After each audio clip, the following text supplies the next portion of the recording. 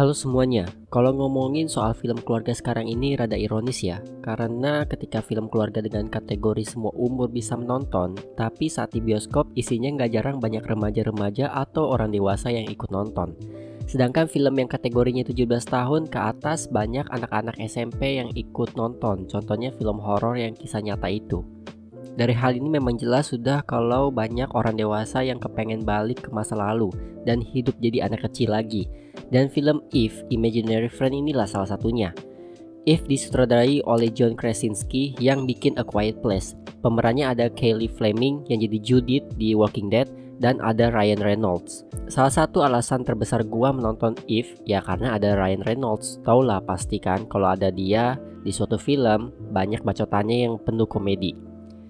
If menceritakan Bi yang bisa melihat teman hayalan orang-orang yang pernah dibuat pas masih kecil. Kita sebut aja If ya. If ini merasa dibuang oleh anaknya alias orang yang menciptakannya. Nah, si B ini dan si Cole mencoba cari cara untuk menemukan anak baru untuk para si If ini. Bisa dibilang film ini relate untuk beberapa orang, khususnya yang merasa dulu punya teman hayalan. Tapi sering waktu bertumbuhnya kita jadi lupa dengan mereka.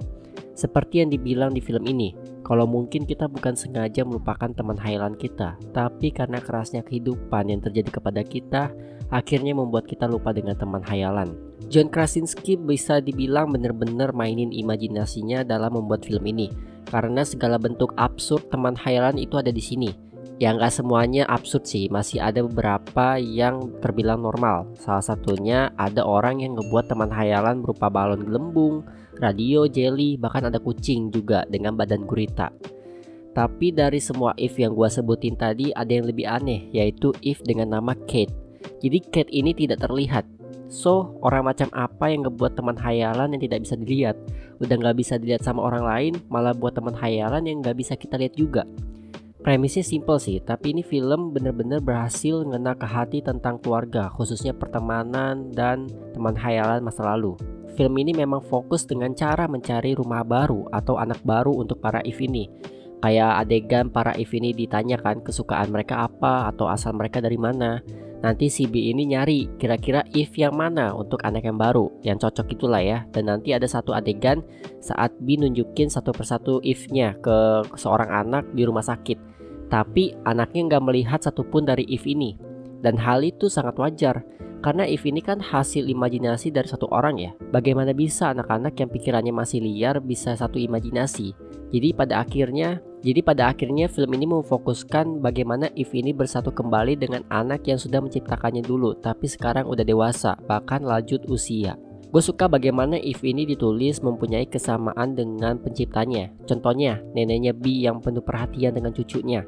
Lalu ada satu if bernama Blossom yang penuh perhatian juga ke B dan ternyata Blossom ini teman hayalannya neneknya dulu. Terus si Kate yang bocah tidak terlihat, ternyata teman hayalannya bapaknya B. Dua-duanya punya sifat jahil. Mungkin pas lagi nonton kalian gak akan langsung notice dengan persamaan ini, tapi menjelang akhir film atau pas sudah selesai baru sadar.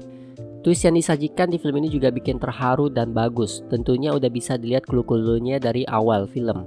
Nah, untuk senjata utamanya yaitu komedi di film ini. Mungkin gak akan sampai buat ketawa lepas gitu ya, tapi semuanya jokesnya terbilang lucu buat gua ya, apalagi ada Ryan Reynolds. Salah satu jokes yang paling lucu itu menurut gua pas si Blue salah satu If bilang ke B kalau dia itu the chosen one karena bisa melihat semua If. Nah, ini kan jokes yang hanya dipahami orang-orang tertentu, khususnya yang nonton Star Wars pasti ketawa dengan adegan ini. Sebagai orang dewasa yang menonton film ini sangat-sangat berasa sih proses tumbuhnya dari anak kecil jadi orang dewasa itu nggak mudah. Pastinya kangen untuk menjadi seorang anak kecil lagi, tapi kita sadar kalau waktu nggak bisa diulang. Namun, mengunjungi suatu tempat atau melakukan sesuatu bisa membuat kita menjadi anak kecil kembali. Terakhir, CGI-nya menurut gue udah bagus sih, karena hampir semua if-nya ini berbentuk animasi. Overall ini menjadi film keluarga favorit gua untuk tahun ini. If sangat berhasil untuk membuat senang penonton dewasanya agar bisa mengingat bagian masa bahagia saat pas masih kecil. So itu saja review dari gua. Terima kasih bagi yang sudah menonton, like, comment, dan subscribe. Gua Rakis, signing out.